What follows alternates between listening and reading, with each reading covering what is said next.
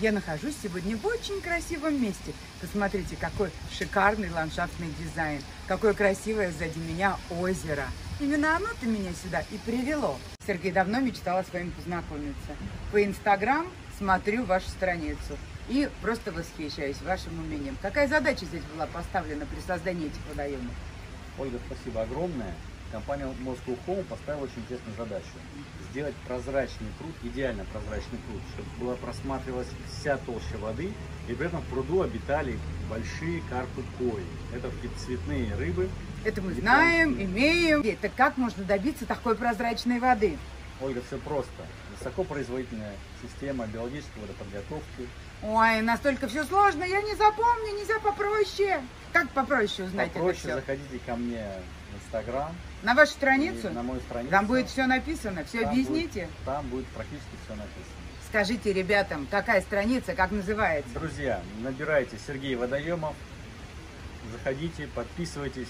Там много интересного и полезного. Он- Коротко о, пруд- о прудах без воды. Он ответит на все ваши вопросы. А я пока пошла смотреть.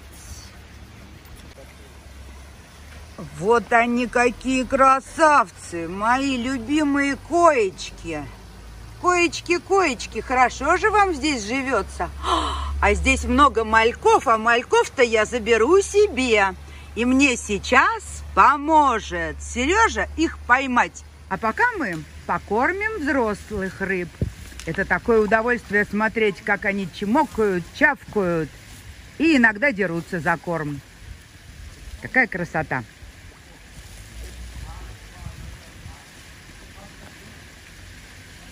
Ручные, буквально ручные.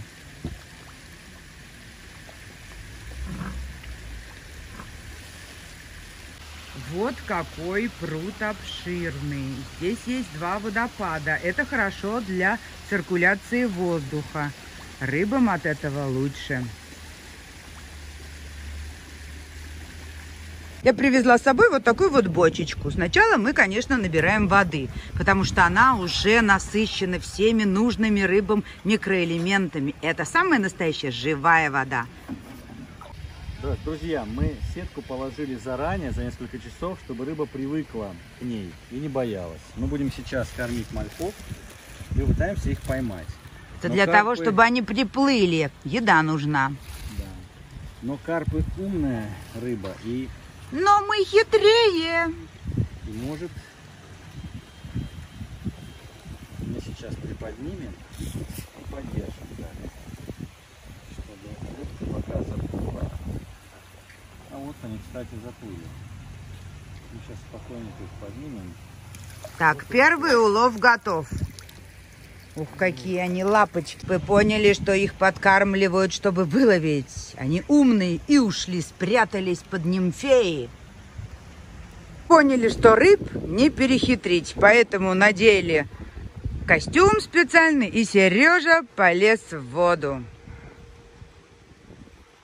Рыбки спрятались под кувшинками, поэтому нам нужно их загнать на нашу сеточку.